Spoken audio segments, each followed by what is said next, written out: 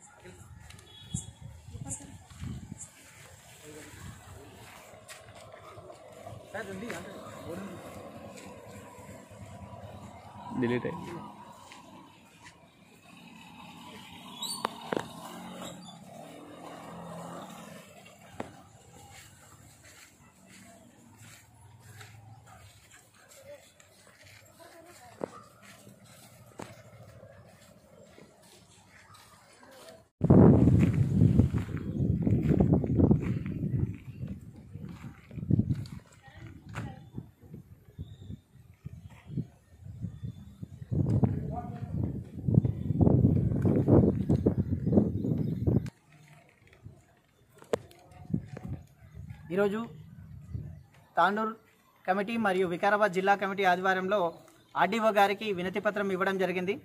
వినతిపత్రం వినతి పత్రం యొక్క ముఖ్య ఉద్దేశం ఏంటంటే ఈ రోజుకి ఎంఈఓ సార్ గారికి మన స్థానిక ఎంఈఓ గారికి వినతి పత్రం ఇచ్చేసి నలభై ఒక్క రోజు కావస్తుంది. ఈ రోజుకి కరెక్ట్గా ఫార్టీ వన్ డేస్. నలభై ఒక్క రోజులో మన మండల అధికారి గారి నుంచి ఎలాంటి స్పందన రాలేదు. అదేవిధంగా జీవో నంబర్ ఫార్టీ ఫైవ్ను యజమాన్యాలు కాల రాయడానికి కారణం కూడా మన మండల విద్యార్థి శాఖ అధికారి అని అర్థమవుతుంది. మేము ఒకసారి ఫోన్ చేసినా దానికి రెస్పాండ్ ఇవ్వలేరు. దానికి ఫోన్ చేసిన రెస్పాండ్ ఏంటంటే సరే ప్రైవేట్ యజమాన్యాన్ని పిలుస్తాను. పిలిచేసిన తర్వాత వాళ్ళతో మాట్లాడతానని అనడం జరిగింది. ఫార్టీ వన్ డేస్ అవుతుంది ఇంతవరకు లేదు.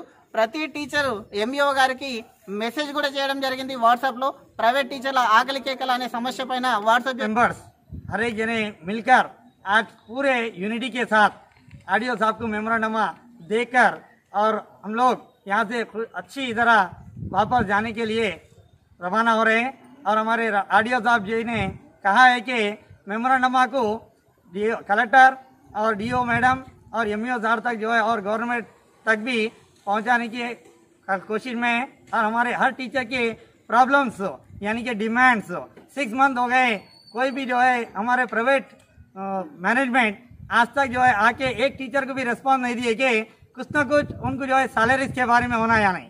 एक एक जने भी जो है इवन कॉल करके भी नहीं पूछ रहे कि सैलरीज क्या है आपकी? कैसा जी रहे? क्या खा रहे? क्या पी रहे? आपका कैसा यूटिलाइज हो रहे? आप कैसा खाना पीना क्या चल रहा? ये कुछ नहीं है उनके बारे में। लेकिन इवन हम लोग गवर्नमेंट को तो डिमांड कर रहे हैं। गवर्नमेंट जो है, उनके एक जियो द्वारा, उनके ऑर्डर के द्वारा एमईओ तक पहुंचाकर एमईओ के थ्रू हर मैनेजमेंट को एक जियो, यानी कि एक प्रोसीडिंग जारी करे तो बहुत अच्छा रहेगा। और एक परसों के दिन जो है, हमारे आसिफ, जो टीपीडीएफ मेंबर थे, जो के डीओ मैडम को एक मेमोरेंडमा दिए। देने के बाद मेमोरेंडमा जब से जब जारी कर कर डीओ मैडम हर एमईओ को और हर टीपीडीएफ के जानब लोगों को पहुँचा दिए, क्योंकि छह महीने की सैलरी से एक्विटेंस कहाँ पर है? किसको किसको दिए आप लोग? वो एक्विडेंस हमारे जल्द से जल्द फाइव डेज़ में पेश करना चाहिए। अगर नहीं दिए तो उनको जल्द से जल्द सैलरीज पहुंचाना चाहिए। ये हमारे टीपीडीएफ की जानिब से स्टेट में, हर जगह, हर डिस्ट्रिक्ट में, हर टाउन में ये हम लोग जो है, हर स्ट्रगल कर रहे हैं। कम से कम आज कल परसों कब स्टार्ट होते हैं, इसको वो भी नहीं मालूम है। क्यों? क्योंकि गवर्नमेंट इसको फॉलो अप नहीं हो रहे और इसका कुछ सोल्यूशन भी नहीं कर रहा। क्योंकि हर प्राइवेट टीचर को सोल्यूशन देने वाली गवर्नमेंट है। गवर्नमेंट ही इसका टेक ओवर नहीं करे तो हम लोग कहाँ जाएँगे? गवर्नमेंट को भी मालूम है कि हम लोग जो है वोटर्स भी हैं। यानी कि वोटर के साथ उनके हर बच्चों को पढ़ाने, लिखाने वाले भी प्राइवेट टीचर्स है। हर एम्प्लॉयज़ जो गवर्नमेंट के एम्प्लॉयज़ जो कुछ भी है, उनके हर बच्चों को प्राइवेट टीचर प्राइवेट स्कूल में ही पढ़ा रहे लेकिन पढ़ाते पर भी हमारे सॉल्यूशन हमारे प्रॉब्लम को उनके सामने डालने पर भी कोई सामने फेस नहीं कर सक रहे। क्यों? हम लोग इतना रोड पे आकर भी हम लोग गिर गिरा रहे हर गवर्नमेंट को बोल रहे लेकिन कुछ ये नहीं है।